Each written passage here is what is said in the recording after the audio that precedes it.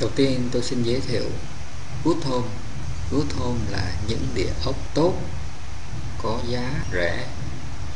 Ví dụ, một địa ốc có giá thị trường là 3 tỷ, nhưng chỉ bán với giá là 2 tỷ rưỡi hoặc 2 tỷ 8 thì chúng ta có thể gọi là good home. Công việc đi tìm good home cũng giống như là công việc của những người đi đái cát tiền vàng để tìm good home hàng ngày chúng ta phải vào tất cả những trang web và tất cả những báo về địa ốc, về nhà đất.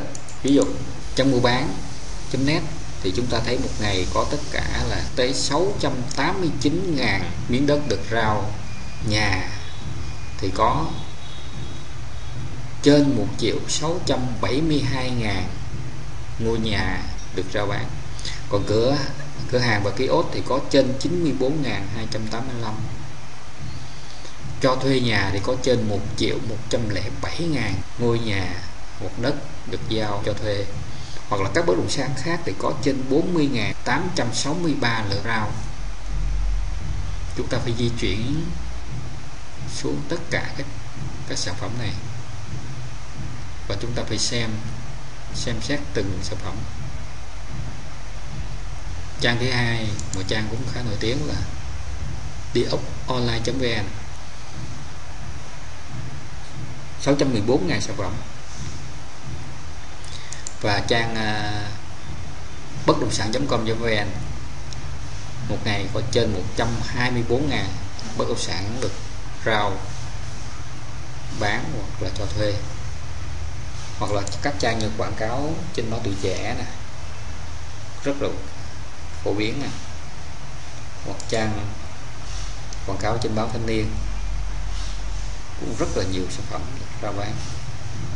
Hoặc là chúng ta phải đọc các báo báo giấy hàng ngày phải mua tất cả các báo giấy như là báo mua bán nè báo tuổi trẻ nè báo thanh niên nè báo người lao động nè và tất rất nhiều báo khác có à, đăng tin rao bán nhà đất. Chúng ta vào phải vào và phải đọc hết tất cả các báo này.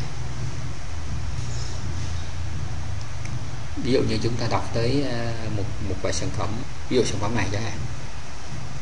Chúng ta thấy quan tâm, hoặc là chúng ta ờ, đánh giá là sản phẩm này là tốt, có thể là, có thể là good home thì chúng ta phải highlight lên.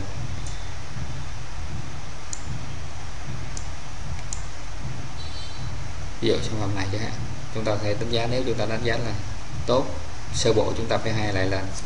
Sau đó là phải có một đội ngũ chuyên môn để địa ốc đi thẩm định và đi đi xuống thực tế xem xét.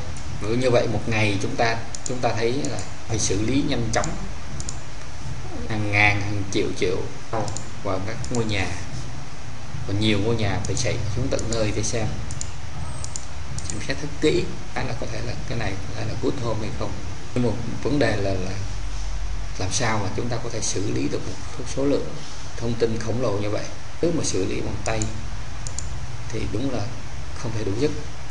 Mà đặc biệt là chúng ta phải xử lý trong một thời gian nhanh nhất. Mỗi ngày chúng ta phải xử lý trong đầu giờ sáng. Công việc này là phải về máy tính để xử lý.